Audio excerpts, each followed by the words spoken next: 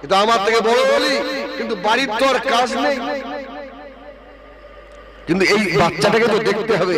আল্লাহর অলিদের চেহারা দেখলেও জীবনের গোনা, সাগিরা গোনা আল্লাহ মাফ করে দেয় জীবনের আল্লাহ মাফ করে দেন। বলুন আমার আবু আমের পরের শনিবারে যাচ্ছে। আজকে তো কাজ নেই, কিন্তু ছেলেটাকে দেখবে। ছেলেটাকে? একটু দেখব। যা দেখলে জীবনের গোড়া মাফ হয়। পরে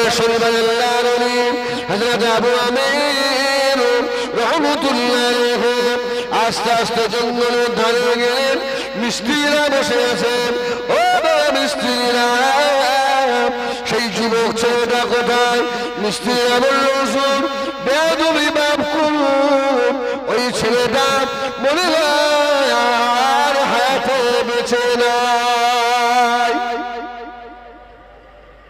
কদিন দেখছিলাম শরীর খারাপ। আল্লাহ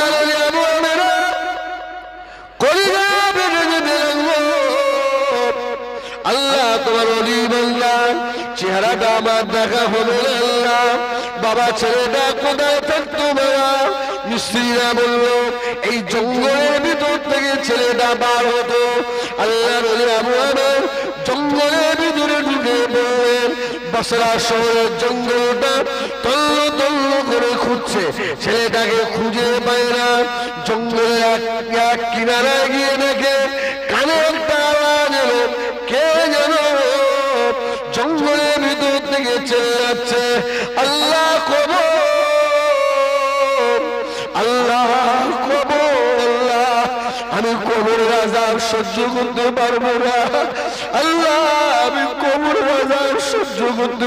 না এই না শুনতে আলী আবু রহমতুল্লাহ আস্তে আস্তে গুটি গুটি গিয়ে ছেলেটা ধুলার উপরে শুয়ে যে বাবা, মাথায় একটা ইটকে বালি বানিয়ে, আর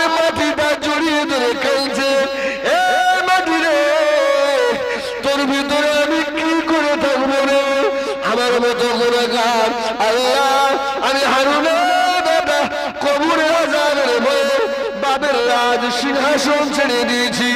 আমি এখন জঙ্গলের ভিতরে মারা যাব। কে আমাকে গোসল দেবে? কে আমার কাপড় পরাবে? কেউ না? আল্লাহ আমের রহমতুল্লাহ রেখে পিছন দিক দিয়ে আওয়াজ দিলেন, ও বাবা ছেলে, আল্লাহ তোমার গোসল কাপড়ের জন্য আল্লাহ আবু আমেরকে পাঠিয়েছে। আমার দাঁড়িয়ে গেলে মাথাটা উঁচু করে কে আপনাকে আমার এবাদত তো ছোপানোর লুকানো এবাদত আমি লোক দেখানো ভয় করি না। কবর আসাম ছেড়ে দেবে না।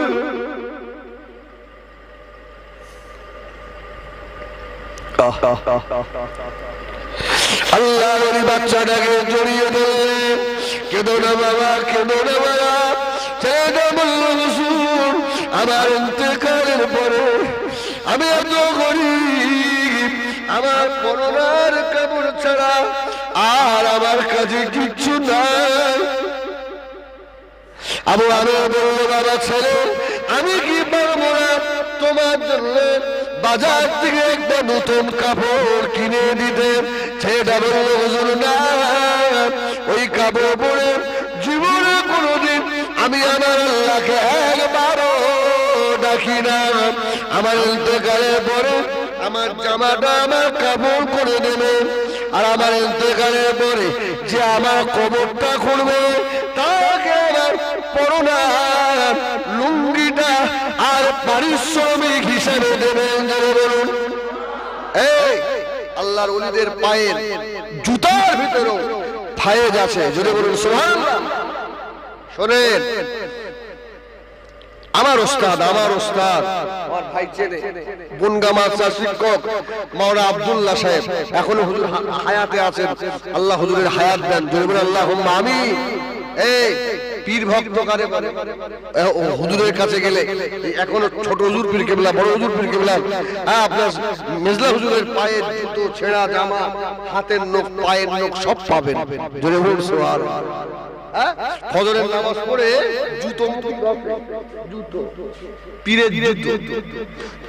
ফায়দা আছে এই, ফায়দা আছে? আমার রসুল ইন্তেকালের পরে আম্মাজান আয়েশার কাছে কিছু মানুষ এলো। আম্মাজান এই মদিনা শরীফে বিরাট কঠিন বিমার হচ্ছে। একটু দিয়ে আম্মাজান আয়েশা কি করলেন? আমার রসুলের একটা ছেঁড়া জামা ছিল। জামাটা বার করে পানিতে ধুয়ে নিংড়ে ওই জামা নিংড়ারও পানি দিয়েছিল। যা খাইয়ে দাও সব যাও।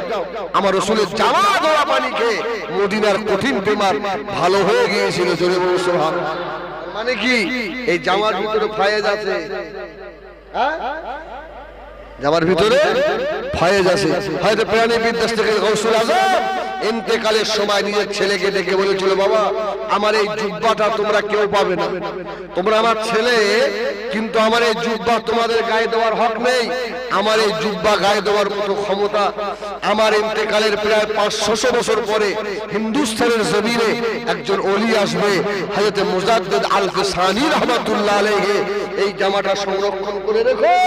আর আমি আব্দুল কাদেরের জামাটা আমার মুজাদ্দিদ আল সানিকে আমি এখন থেকে উপহার দিয়ে গেলাম।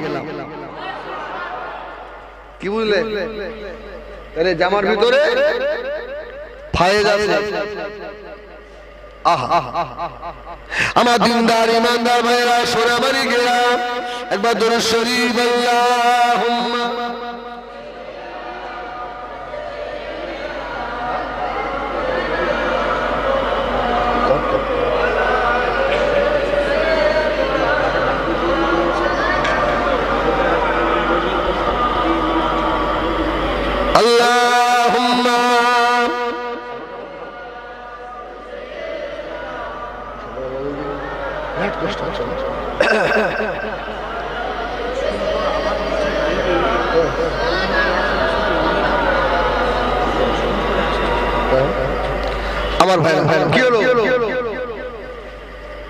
যা ঘুরে ঘুরে মানে জলসা থেকে লোক ওটা উঠি করলে না মন কিন্তু অনেক তো বয়স্ক মানুষ উঠতেই হবে। অসুবিধা আছে এটা মসজিদ লাস্ট পর্যন্ত হয়তো না পা হয়ে যাবে মুশকিল। যান যান আচ্ছা আচ্ছা আচ্ছা। আপনাদের অসুবিধা হচ্ছে বাবা? তকবির দাও না দাঁড়াইতে বাবা, জোর কি রে বাবা? তাবার ওখানে একটু দেরি আছে। হ্যাঁ আমার ভাই বললেন একটু টেনে দেন। এদিক ফেরেন হযরত আবু আমের রহমাতুল্লাহ আলাইহি। হ্যাঁ বলছো ছেলে, তোমার কাফনের জন্য আমি কি বাজার থেকে একটা নতুন কাফন দিতে পারব না? এই, আল্লাহর ওলিরা যে জামা গায়ে দিয়ে থাকে না, ওই কাপড়টাও আল্লাহর জিকির করে। জোরে বলুন, সুবহানাল্লাহ। আমার মেজর হুজুর রহমাতুল্লাহ আলাইহি যে তক্তা বসে শুতেন, ওই তক্তা বসটাও আল্লাহর জিকির করত। জোরে বলেন না হ্যাঁ?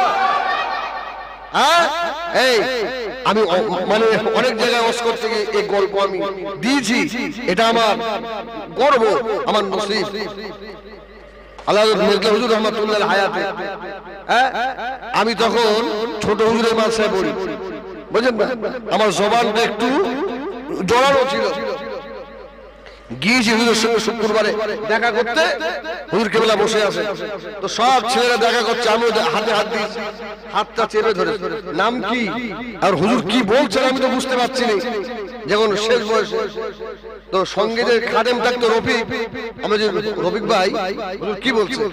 তোমার নামটা জিজ্ঞেস করছে। আর হুজুর, আমার নাম হেজবুল্লাহ। যেই বলে হেজবুল্লাহ। আমি সঙ্গে সঙ্গে আমি একটা সুযোগ পেয়ে গেছি। হুজুর আমার জবানটা একটু জড়ানো করতে কষ্ট হয়। আল্লাহর ওলিদের যদি একবার নেক নজর কারোর দিকে পড়ে যায় তার নসিব খুলে গেল আমার ভাইয়েরা এই জন্য আল্লাহর ওলিদের সঙ্গে বেয়াদবি করতে নেই হাক্কানি আলেমদের সঙ্গে বেয়াদবি করতে নেই।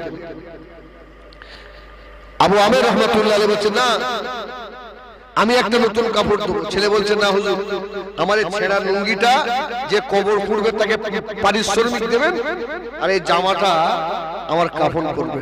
আমার আর একটা কথা আপনি শুনবেন আমার ওসিয়ত আবু আমের বলছে কথা আর একটা ওসিয়ত। ছেলেটা বলল হুজুর আমার দেখার পরে এই দেখেন আল্লাহ পাকে কোরআন এটাই আমার পুঁজি।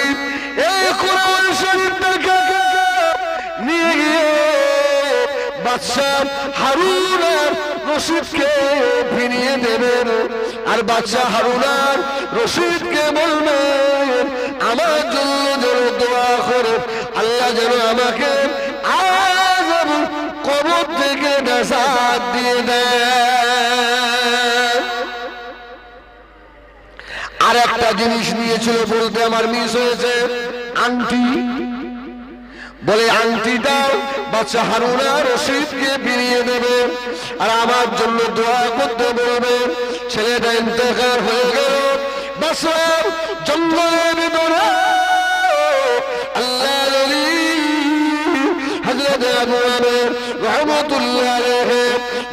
কাপড় করে নিয়ে বাদশাহ হারুনা রশিদের দরবারে ছুটেছে। ও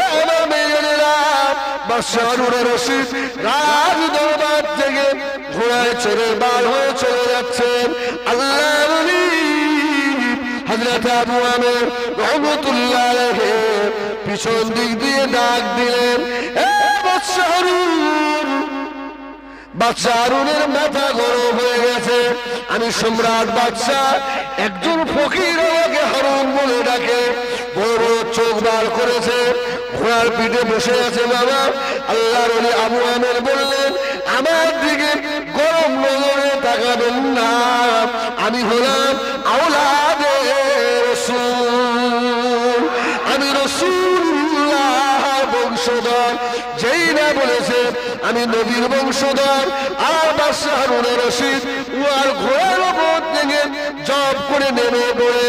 আল্লাহ আবু আমের কাছে ক্ষমা চেয়েছে বলুন সুবহানাল্লাহ।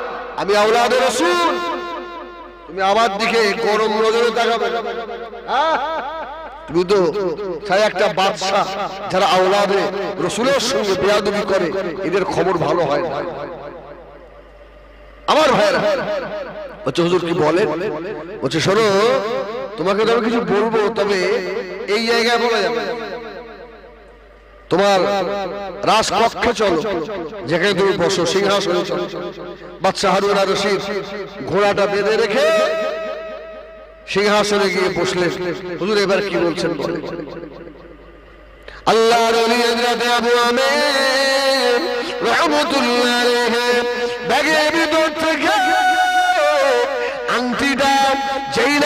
করেছে, বাদশাহ হারুন চিনতে পেরে গেছে। এটা তো আমার শান্তি। আমার ছেলেকে দিয়েছিলাম। বাদশাহ হারুন রশিদ বললেন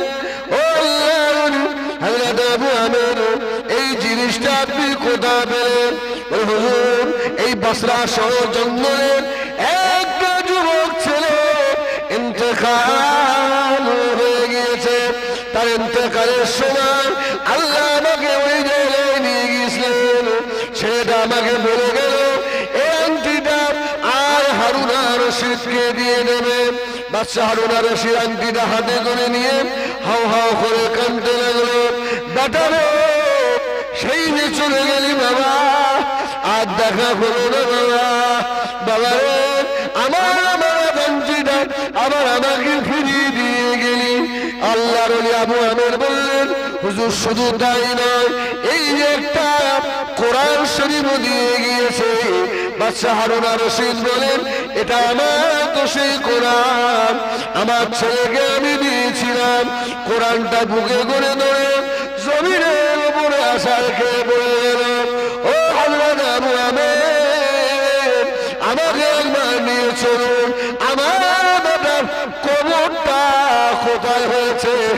আমার বেটার সঙ্গে দেখা হলো না। জীবনের শেষ সময় আমার বেটার কবরটা কোন জায়গায় হলো? আর সঙ্গে করে নিয়ে, বাসরার জঙ্গলে নিয়ে গেল। ছেলের কবরে পড়ে গিয়ে হারুনা রশিদ আর আছার খেয়ে পড়ে গিয়ে কবরটাকে জড়িয়ে ধরলেন ও ছেলে বেটারে দুনিয়ার মান দেখিয়ে তোকে বাড়ি থেকে দাঁড়িয়ে দিয়েছিলাম। তুই যে আল্লাহ পাগল, কবরের পাগল হয়েছিলি। আমি বাবা ক্ষমা করে দে, বাবা আমাকে মাফ করে দে। কেতাবেরা লিখছে, বাদশাহ হারুন রশিদ ছেলে কবর জড়িয়ে ধরে কাঁদছিলেন। ঘুমিয়ে পড়ে আল্লাহ হুকুম গেল। ঘুমের ভিতরে ছেলে স্বপ্ন দেখাচ্ছে আব্বা যান। আপনি কাঁদবেন না। আমি যে কবরে ভয় করতাম, আল্লাহ আমাকে ওই কবরের আজাব থেকে নাজাদ দিয়েছে। আমি আপনাকে আল্লাহ রাস্তে মাফ করে দিলাম। জোরে সুবহানাল্লাহ। দরুদ শরীফ, আল্লাহুম্মা।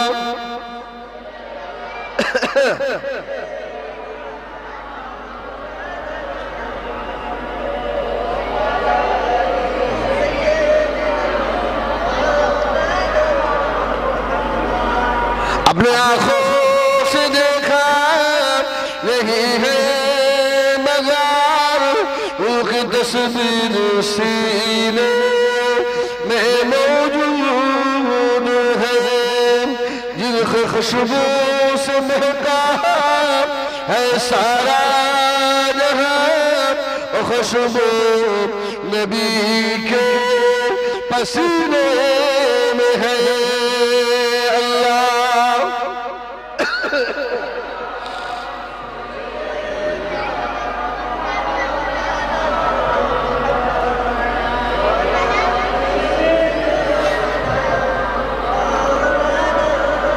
আমার ভাই এই জন্য বলব, কবরের ভয় করে। কবরের ভয় করেন আখেরাতের কথা একটু চিন্তা করেন মরে আমরা সকলেই যাব, মরতে আমাদের হবে না হবে না। কোন সময় হবে আপনি জানেন? আমি জানি, কেউ জানে না। এই খবর কে জানে? ইন্নাল্লাহ ইনদাহু ইলমুস সাআ ওয়া ইউনাজ্জিলুল গায়স ওয়া ইয়ালামু মা ফিল আরহাম, ওয়া মা তাদরি নাফসুম মাযা তাকসিব গাদা। ওয়া تدري نفس بأي أرض تموت إن الله عليم خبير কয়েকটা বিষয় আল্লাহ কারোর হাতে দেন এটা আল্লাহ হাতে রেখেছে। কোথায় মেঘ হয়ে বৃষ্টি হবে, এ খবর কেউ বলতে পারে কে বলতে পারে? আল্লাহ। হ্যাঁ? মায়ের পেটে কি সন্তান আছে কেউ বলতে পারে? এখন তো আল্টো সোলো করে সব দেখা যাচ্ছে। কি? ছেলে নামে কিন্তু চার মাসের আগে কেউ ডাক্তার বলতে পারবে? তার আগে কে বলতে পারে? আল্লাহ। তাহলে কোথায় বৃষ্টি হবে? মায়ের পেটে কি বাচ্চা আছে? আর হাম, এ খবর আল্লাহ জানে। আপনার আমার মৃত্যু কখন হবে? এ খবর কেউ জানে? কিয়ামত কবে হবে? জানে? এই কয়েকটা জিনিস আল্লাহ বান্দার হাতে দেন। এটা আল্লাহ পাক নিজের হাতে রেখেছেন জোরে বলুন সুবহানাল্লাহ। তবে ফাইজা জা আজাদুহুম লা ইস্তাখিরুনা সাআতাও ওয়া লা ইস্তাকদিমুন সময় যখন হয়ে যাবে এক মিনিট এক সেকেন্ড দেরি করা হবে না। পৃথিবীতে যত মানুষ আমরা এসেছি এবং আসবে, যারা বিদায় নিয়েছে, আজরাইল কারুর কাছ থেকে পারমিশন নেননি। একটা মানুষের কাছ থেকে পারমিশন নিয়েছিলেন, যিনি হলেন মুহাম্মাদুর রাসূলুল্লাহ। হ্যাঁ? আমার আমার নবীর কাছ থেকে আজরাইল পারমিশন নিয়েছে আমার নবী বলল, আজরাইল, না। আমি চলে যাব। আমি আল্লাহ পাকের দিদারে যাব। তবে আমার একটা শর্ত ভাই জিব্রাইল একটু আল্লাহকে গিয়ে বলবেন হ্যাঁ, আমার ইন্তেকালের পরে চলে যাওয়ার পরে আমার গুনাহগার উম্মাত উম্মাতিদের কে দেখবে? যদি বলবেন না সুবহানাল্লাহ কে দেখবে। ফেরেশতা জিবরিল আমিন আলাইহিস সালাম আল্লাহ পাকের দরবারে গেলেন। এই আরজু, এই কথা যখন বললেন, আল্লাহ বললেন এই জিবরাইল আমার হাবিবকে শুনিয়ে দেন। আপনার, আমার হাবিবের উম্মতের দায়িত্ব আমি আল্লাহ নিজ হাতে নিয়ে নিলাম। জোরে বলুন, সুবহানাল্লাহ। যে নবী মৃত্যুর সময় আমাদের কথা ভুললেন। সারা জীবন আমাদের কথা ভাবলেন যে নবী মদিনা মনোহরা থেকে ময়দানে হাসরে যেদিন রসুল্লাহ উঠবেন, আমার রসুলের গায়ে আপনার কাদা মাখা অবস্থায় থাকবে। হ্যাঁ? উম্মাত রসুল পর্যন্ত কাঁদবেন। আজকে বড় আফসোস হয় ও লাগে। সেই চল্লিশ পঞ্চাশ বয়স হয়ে যাচ্ছে। এমন উন্মত রয়েছে। এখনও আমার রসুলের সুন্নতের উপরে মহব্বত আসে। আসে না নেই? হ্যাঁ? এখনও দাড়িতে খুল লাগায় হ্যাঁ? এখনও দাড়ি কাটে? আসে না নেই? আল্লাহ আমার ভাইরা এই জন্য যাদের দাড়ি নেই, দাড়ি কাটেন আমার নবী পাকের মনে দুঃখ দেবেন না, কেন আপনার চিন্তা হয় না? যদি এখনই আমার মৃত্যু হয় আচ্ছা বলেন দিন আমাদের সব থেকে আপন কে? আমাদের বউ না? এই বউ আপন? কিচ্ছু বলে না। তোমাদের কেন? এই- এই-? তোমাদের বেহে বেহনি বাচ্চা কাচ্চা তো তো ঠিক আমার ভাইরা বিবি মহব্বত করে সব থেকে বেশি। না এ স্বার্থের ভালোবাসা সন্তান ও বাপকে স্বার্থের ভালোবাসা। একটু কম দিয়ে দেখুন না সারা বাপ বলে আর ডাকবে আরে যে উম্মত আমার রসুলের বাগের শূন্যতে সারা জীবন ভোট দিয়েছে শেষ সময় গিয়ে একটু দাঁড়িয়ে দাঁড়িয়ে একটু নামাজ পড়ছে। আচ্ছা একটা কথা বলেন দিন। পাকিস্তানে মাওলানা তারিক জামিলের আমি একটা বই পড়ছিলাম। উর্দু বই। আমার সারা বইটা পড়ে এক জায়গায় ভালো লাগে মাওলানা তারিক জামিল বলছে, যদি কোনো পার্টির নেতা কোনো পার্টির নেতার কাছে অপরাধ করে, ক্ষমা চাইতে এক বছর সময় লাগে। ওই পার্টিতে আবার ঢুকতে এক বছর সময় লাগে। অনেক অজুহাত দেখায় তাকে ক্ষমা করে কোন সন্তান যদি তার মা বাবার কাছে অপরাধ করে। এর ক্ষমা চাইতে এক সপ্তাহ সময় লাগে। বাপ মা সহজে ক্ষমা করতে চায়। না, তুই ভাত অনেক অজুহাত দেখায়। হুজুর আমার লিখছেন, আল্লাহ আকবার। যে যে আল্লাহর জমিনে বাস করি, যে আল্লাহর অক্সিজেন নেই বান্দা সারা জীবন আল্লাহর সঙ্গে নাফারমানি করে। কিন্তু বান্দা সারা জীবন নাফারমানি করলেও বান্দা যদি আল্লাহর কাছে তওবা করে, আমার আল্লাহ এই বান্দার ক্ষমা করতে এক সেকেন্ডও সময় লাগে না। হ্যাঁ মা বাপ এক সপ্তাহ সময় নেয়, পার্টির নেতা এক বছর সময় নেয়। আমার আল্লাহ বলছে, বান্দা, তুই শুধু একবার আমাকে আল্লাহ বলে ডাক, আর নিজের জীবনের অপরাধের কথা মনে করে একবার তওবা কর। আমি তোর মা বাপের থেকেও বেশি ভালোবাসি। জোরে। সারা জীবন সালাম সালাম সালাম সালাম। ঠাকুরের উপাসনা করেছে। শেষ সময় মুখ পড়ছে শুধু একবার সামাদ বার হয়ে গেছে। আল্লাহ একটা নাম আছে না আপনার কোরআন শরীফে এক জায়গায় আছে। কুল হু আল্লাহু আহাদ, আল্লাহু সামাদ। আছে না? সালাম সালাম করতে করতে মুখ দিয়ে শুধু একবার সামাদ বার হয়ে গেছে। আল্লাহ বলছে আমার ফেরেশতারা, আমার বান্দাকে শুনিয়ে দে। আমি আল্লাহর জীবনের সব গুনাহ মাফ করে দিয়েছি। সুবহানাল্লাহ। এত দয়া কার হবে? এ ভাই, এত দয়া কার? হ্যাঁ? অপরাধ করেছি আমরা। সকলেই অপরাধী। কুল্লুমনি আদমুল খাত্তার আমরা সকলেই অপরাধী, গুনাহগার। কিন্তু আমাদের জন্য এখন তবা দরজা আল্লাহ খুলে রেখেছে। জোরে বলুন, সুবহানাল্লাহ। এজন্য আমার ভাইরা যারা বেনামাজি আছি, আল্লাহ খালি নামাজি হয়ে যাব। যাদের মুখে এখনও শুধু সুন্নাত উঠেনি, আজ থেকে তওবা করেন।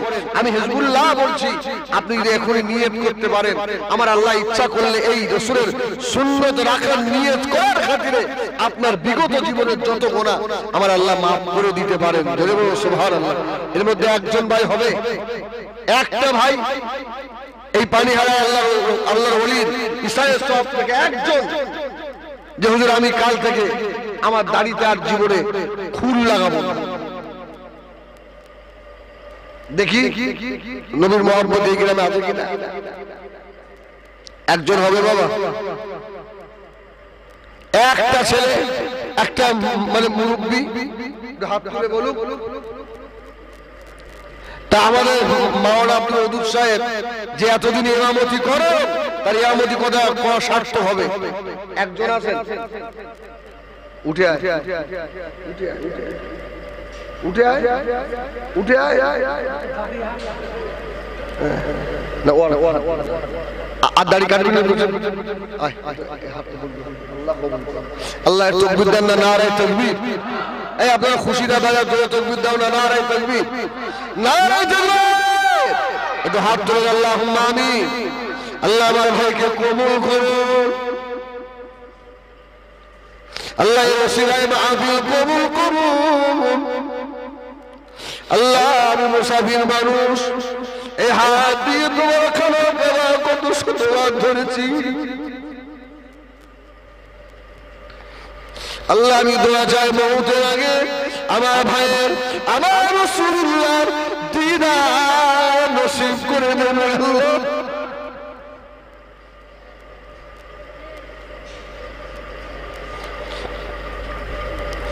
আল্লাহ জীবনে দুবার দুমুটো খাওয়ার পরে পরে দোয়ারে হাত পাতাবেন না আল্লাহ হালাল রুজিতে বরকত দেবেন আল্লাহ এই ছেলের বংশে আলেম হাক্কানি আলেমে রব্বানি তৈরি করে দেবেন আমার দাদা হুজুরের পাঁচ হুজুরের, নেক নসর আল্লাহ এই ছেলেটার উপরে দিয়ে দেন লা ইলাহা ইল্লাল্লাহ। মুহাম্মাদুর রাসূলুল্লাহ তাকবীর দাও না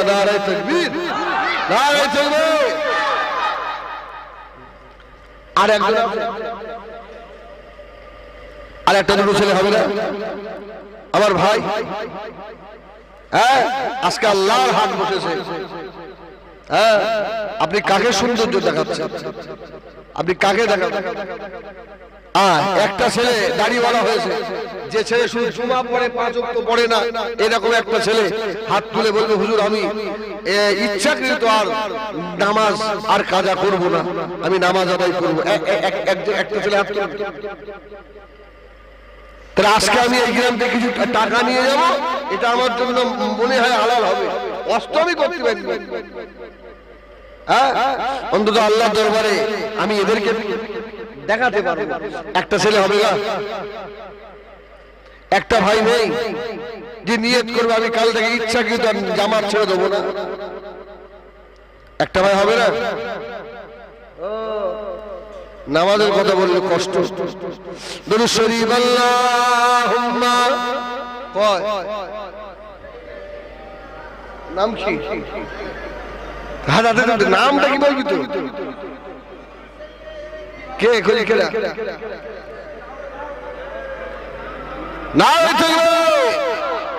হ্যাঁ আল্লাহ কবুল করেন। আল্লাহ আমার ভাইয়ের রসুলের দিদার নসিব করেন। আল্লাহ অরুজি রোজগারে বরকত দেন। আল্লাহ ওই বংশে আলেমে হাত করে রব্বানি আল্লাহ তৈরি করে দেন। জয় বলে আল্লাহ আমি আমার ভাই আর দেরি নয়। সকলে আসেন। আল্লাহ পাকে সম্মুখে দাঁড়িয়ে আমার নবী পাকের দরবারে। একটু সালাত ইয়া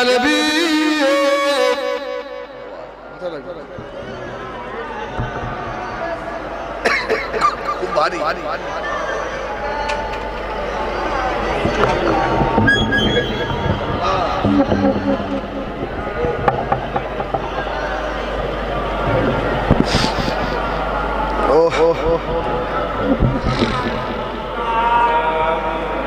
তলাল বদরু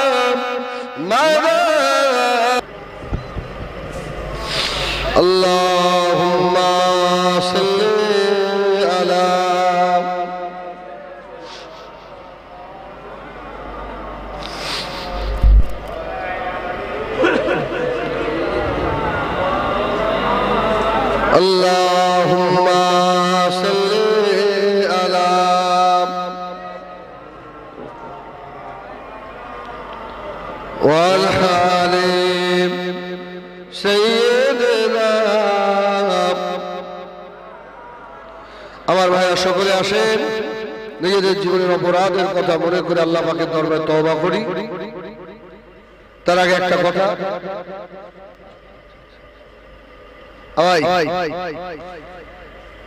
খুব অল্প দিনের ভিতরে ভাইরা নিয়ত করে এই ইসলামের সবটা করেছে। পয়সা করে কিছু শর্ট হয়েছে। উনি মহব্বতে নগদে যদি কেউ কিছু দিতে পারে দশ টাকা, পাঁচ টাকা, বিশ টাকা, একশো টাকা, যদি কেউ দিতে পারে, যদি কার কাছে থাকে হ্যাঁ? দু একটা বাচ্চা যাও হ্যাঁ? অনেকের কাছে আছে, কিন্তু কেউ না গেলে দেবে না। যাও না বাবা, যাও এলো এলো দাও বাবা দাও আল্লাহ আল্লাহ ওলির ইসলামে সব দাও। আল্লাহ টাকায় রুজি রোজগার আল্লাহ বরকত দেবে।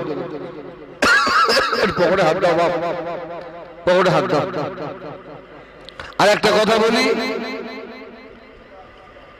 আপনাদের মসজিদের স্বনামধন্য ইমাম। আমার ভাই যারা